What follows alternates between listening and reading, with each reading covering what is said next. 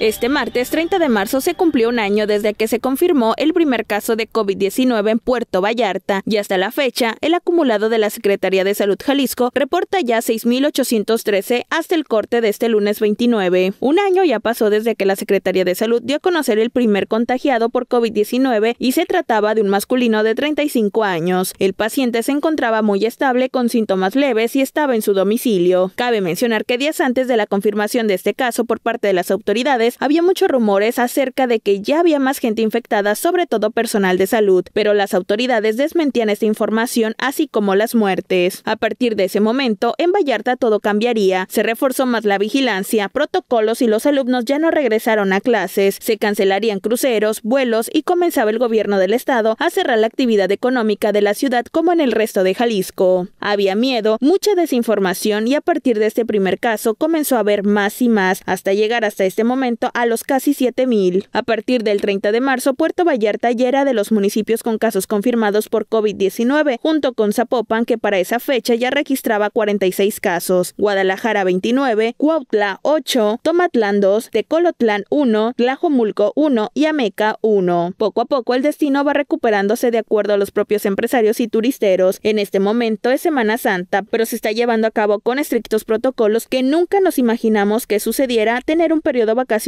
con restricciones para que no haya un repunte de casos y saturar a los hospitales. La ciudad es líder en ocupaciones hoteleras a comparación de otros destinos de playa como Los Cabos o Cancún, así como la reactivación de vuelos, siendo que pese a la pandemia, el Aeropuerto Internacional de Puerto Vallarta nunca ha dejado de operar. Con imágenes de Ixia Rodríguez para CPS Noticias, Brenda Beltrán.